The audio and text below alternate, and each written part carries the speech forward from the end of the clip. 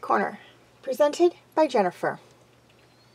Breath of Hope, Chapter 2, Found, Part.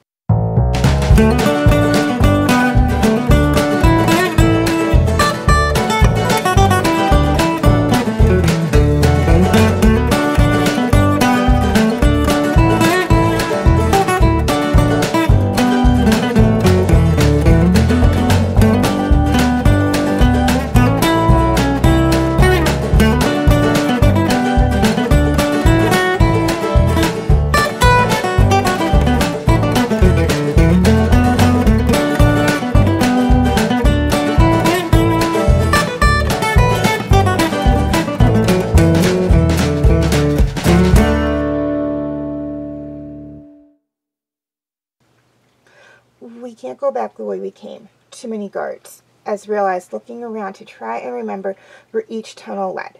Finally, he pointed to one of them. Come on, this way. No, wait, Rayla called out. We need to get him to the roof. Why, there's no way out from there. Just, just trust me, she said, glancing at the dragon, who was trying to stand, but she could feel he was depending on her to stay upright. Ezran frowned slightly. But why do you need to go to the roof? You may not realize it, but I'm trying to help you. At any moment now, others will be arriving, she explained. Others like me. It took a moment, but Ezran realized what she meant. Assassins? I need to show them Callum to stop them. Just help me get up there. Ez looked down at Bait, who was glowing to provide some form of light. He nodded. I'll take you to the roof. Quickly, he changed his direction. Callum moaned as he walked, his legs too weak. It was too much too soon. Rayla tried to encourage him. Hold on there, Callum. It's going to be all right. We're going to get you home. Home, he repeated, somewhat delirious. Where? Where's home? Xadia. I'm going to get you to Xadia. He was confused by the word. We he said, looking at Ezran and Bait as they walked on ahead. We go to to Xadia. Before she could reply, Ezran stopped by a large wooden door in the wall and faced them. Wait here, I'll check to see if it's clear. Then he pushed the door open slightly, peeked out, and looked both left and right. After a moment, he waved them on, entering a corridor from behind another painting. As Rayla checked to make sure there weren't any guards, Callum found himself looking up and his eyes widened. The hallway, hallway was lined with windows, and each one showed a beautiful dark sky with a full moon lighting it brighter than any candle could. He called forth a moment of strength and pushed away from the moon shadow elf. He staggered towards the window until the glass stopped him. Leaning on it, he looked up, trying to say something, but all words failed him. It, it's, he managed before wincing and curling in on himself. His stomach aching and his legs buckling. Rayla and Ezran ran over to support him as he collapsed, overwhelmed and tired. Rayla shook her head as she looked between him and the outside. No, no, no, Callum, come on. You've got to get back up. We can't stay here. I, I can't, he whimpered. I can't. Rayla, he needs to rest. The elf looked around, both outside the window and inside. She knew the others would be making their move soon. The moon was almost at its highest. They would be here soon if they weren't here already. Her window to stop this tragedy was closing, and closing fast. She looked over at the dragon as he tried to lean on the wall, Ezran and Bait offering some comfort to him. I'll go ahead, she decided. Tell me how to get to the roof.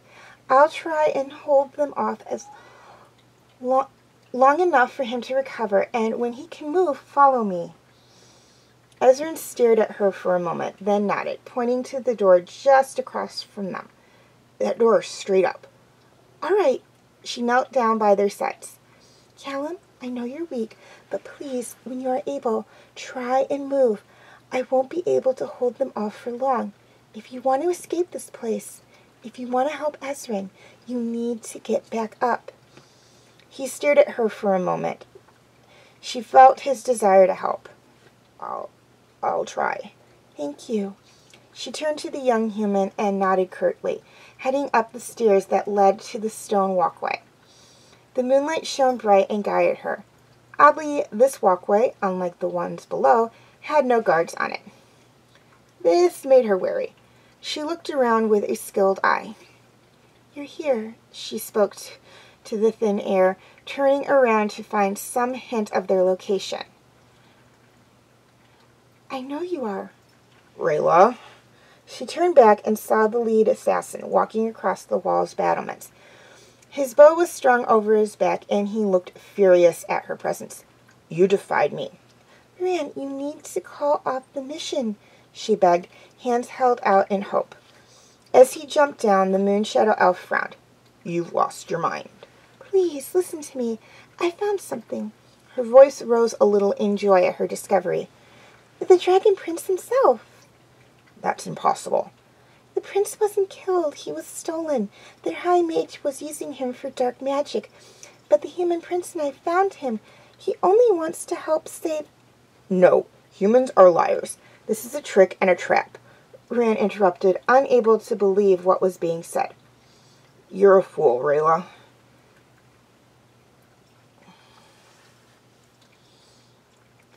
She's not a fool, came another voice, and the pair turned to face the door at the end of the walkway. Who they saw was a young, dark skinned prince standing in the doorway alone. What she's telling you is true. Drawing his bow, Runaan t- took aim. You made a terrible mistake. Not flinching at the aimed arrow, Ezran turned to look back and held out his hand. Come on, Callum, it's all right. The stairs had clearly taken a lot out of the wounded dragon. He limped out, but somehow managed to look at the second elf. His eyes widened at the arrow while his tail instinctively wrapped around the human to keep him safe. Runaan gasped at the sight, amazed, and lowered his weapon. He's. he's alive? How can we take vengeance for an act that never happened? Rayla protested. You have to call it off. Rayla, you know it doesn't work that way, the leader countered. We bound ourselves. There's no other way to release. Runaan, please. There has to be another way. This is a miracle, a chance for peace. The assassin wasn't having it, and he drew his bow once more. The humans struck down the, dra- the king of dragons. Justice will not be denied. Now, give me the prince. Preparing herself for a fight, Rayla drew both blades at once. Callum, Ezran, go back. But just keep him safe, she commanded, not looking back. Ezran frowned but helped Callum back inside the tower just as the few clouds in the sky parted. A full moon shone down on the two elves, filling them both with elemental power. Runaan frowned as he pulled his bow apart and created two blades that resembled Rayla's. Don't do this, he almost pleaded as the power of the moon made his skin dark and transparent. I will kill you. When the same power took hold of Rayla, she smirked. Probably. Then she charged forward to clash with her long, lifelong mentor.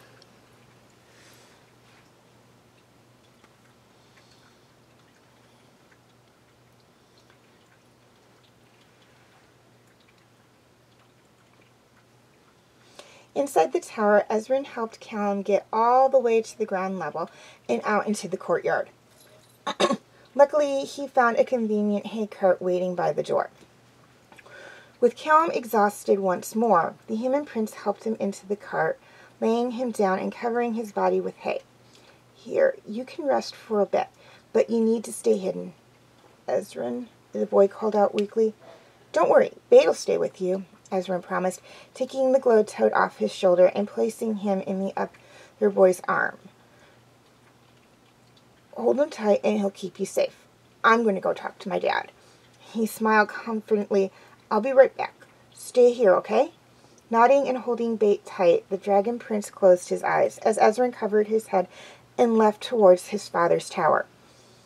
Once he made it up and pushed past the guards, he quickly headed to the, for the front door.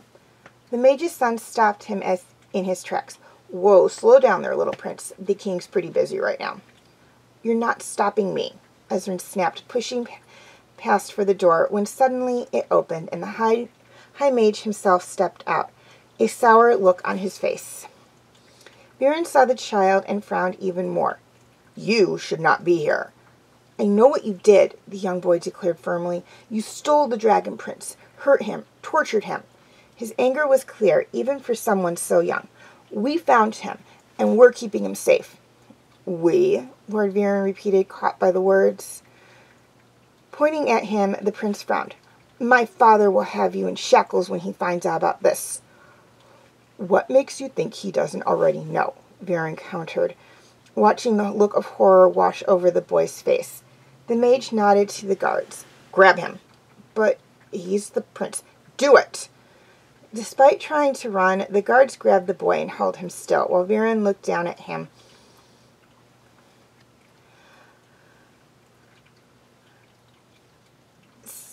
stamping his staff on the floor for emphasis. Now, tell me, where is the dragon? I'll call out. I'll scream. Go ahead, the mage challenged, reaching into his pocket and pulling something out before crushing it in his palm. He began an enchantment, his eyes glowing bright as he spoke the words. The carcass in his hand glowed a bright green before a smoke-like hand reached out and entered the prince's mouth. It removed a glowing yellow orb from within him. Ezran tried to speak, but nothing came from his lips. At that moment, he realized the horrors this man could commit and how scared Callum must have been. Even when the smoke was gone, he still couldn't speak. Música